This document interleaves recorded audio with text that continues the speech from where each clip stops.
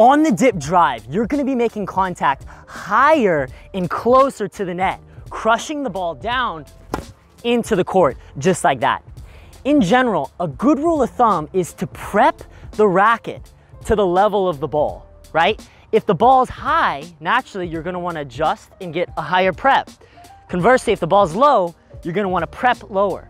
Additionally, your hitting arm preparation should be higher the closer you are to the net. And we see this in top players is from a geometric standpoint, you can safely crush the ball down into the court the closer you are to the net, just going down and forward. Now, uh, you really want to avoid prepping the arm above your shoulders. And we outline this in our high ball video, which we've linked below. If you prep your arm above your shoulders, that's going to result in lost power as you won't be able to utilize your pec muscles as much in the shot.